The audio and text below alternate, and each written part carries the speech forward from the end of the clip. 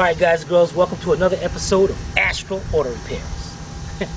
Can you dig it? Alright, today, check it out. We got a 1998 Toyota Camry, customer's complaint, running real bad, and check engine light was on, she got a code PO, uh, what was that? P1300. P1300, igniter circuit 1 at fault. Now you got igniter circuit 1 and igniter circuit 2, but I'm explaining those what's coming up and we're going to check how I'm going to show you how to check them coming up on Astral Auto Repairs.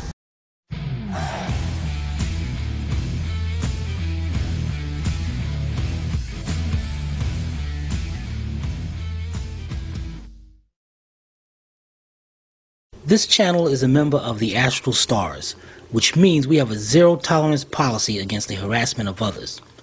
Anybody who violates that policy will be banned. For further information, please visit www.theastralstars.com. Oh, hey guys and girls, I'm Bet from I Seek Out the Truth. Welcome to another episode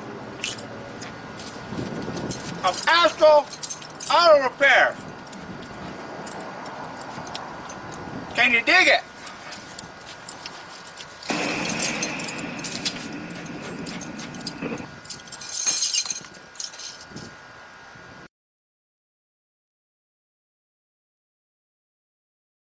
All right, guys. So we got a code for an igniter number one fault. Now this car has, let me get this out of the way here. This hose out of the way, this out of the way. This, yeah, that's good. All right, now you have two ignition coils on there. Now us normal guys, we call them coils.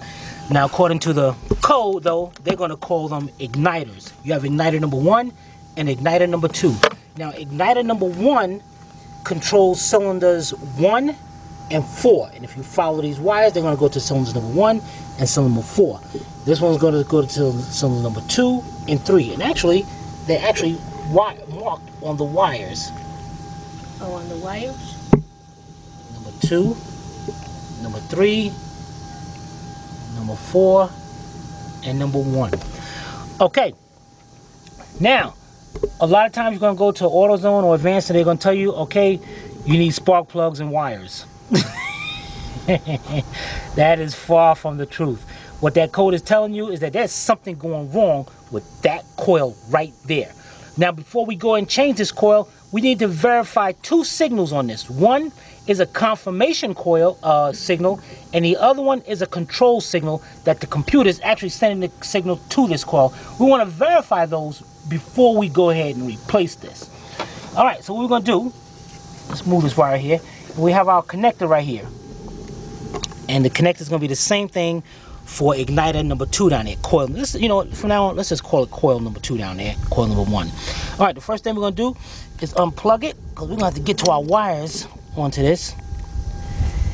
And if you got, you looking at your Camry right now, the two wires we're gonna be concerned with is from starting from over here one number two is a white with a red tracer and then the next one a black. That one's the confirmation that one is the control. So let's grab we need to graph these. Now i'm not to grab i'm not going to use get my vantage let's grab our Autel AL539B we'll be right back.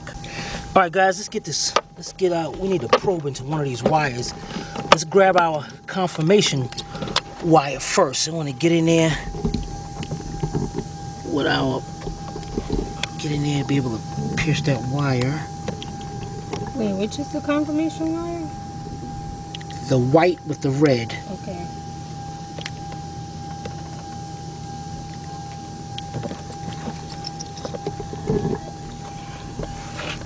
Okay. Now let's plug this back up.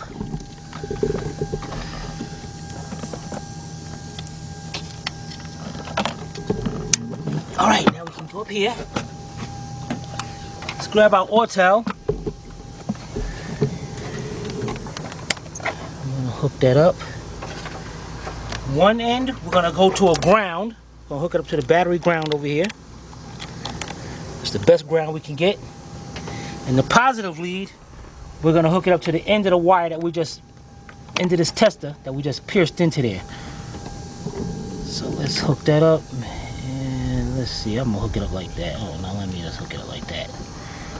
All right, now, let's cut our Autel on. Matter of fact.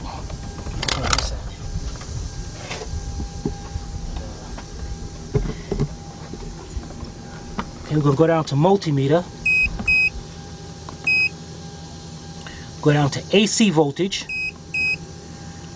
All right, now I'm gonna crank it over and we're looking for a waveform. We're looking for a signal.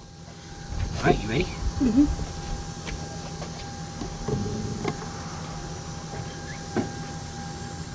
Tell me what you get.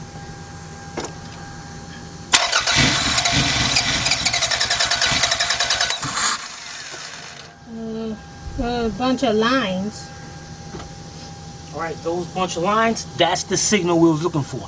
So we know we're getting a confirmation signal. We know we got a signal there. Now, it ain't over yet.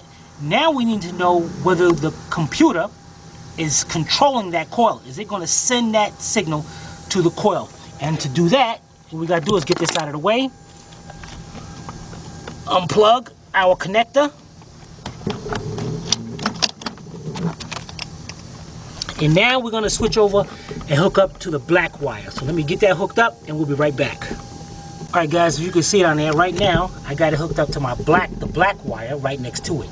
Now that's the control signal coming from the computer. That means the computer it is, if we're getting a signal, is sending that signal to activate that ignition coil.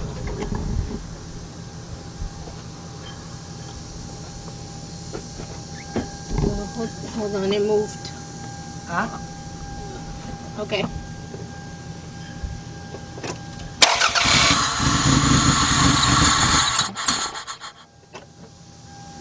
Okay, can you explain to me what you got? Uh, hardly anything. There were these tiny little beady lines. Little bitty lines. Yeah. Um. Uh, let me let me let me make sure I got a good ground. I don't like that. Let's make sure we got a good connection down here.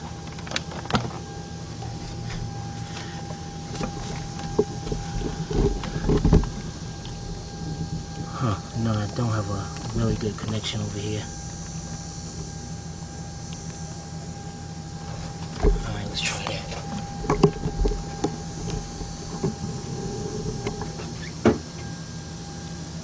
Are you ready?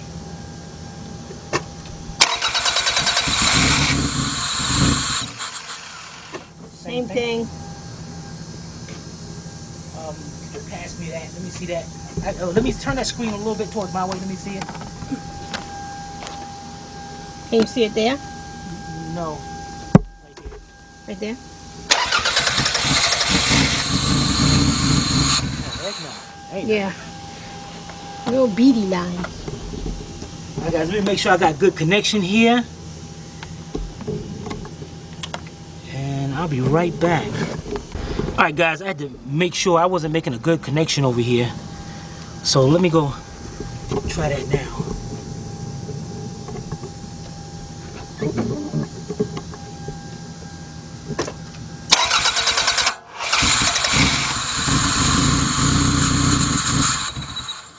Okay, well, now we got some kind of waveform. What you got?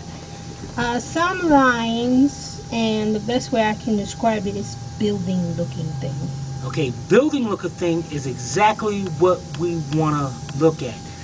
Um, and before we do that, what I'm going to do is go. I'm gonna go over now, and I'm gonna hook this on to the other other coil, and we're gonna see if we got the same thing. So what I'm gonna do is get reach over here and probe into this this one. You know what, guys? I'm gonna hook this up, and I'll be right back. Why can't we watch you? Huh? Why can't we watch you? Fine, watch me. Now this one is a different color wire. This one is the yellow with a red line. That's the control. So let's okay, go get it hooked up. Let's plug our coil back up.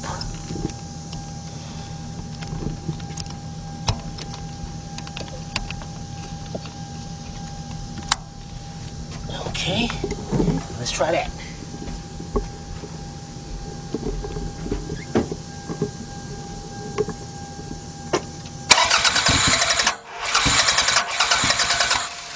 I have more buildings.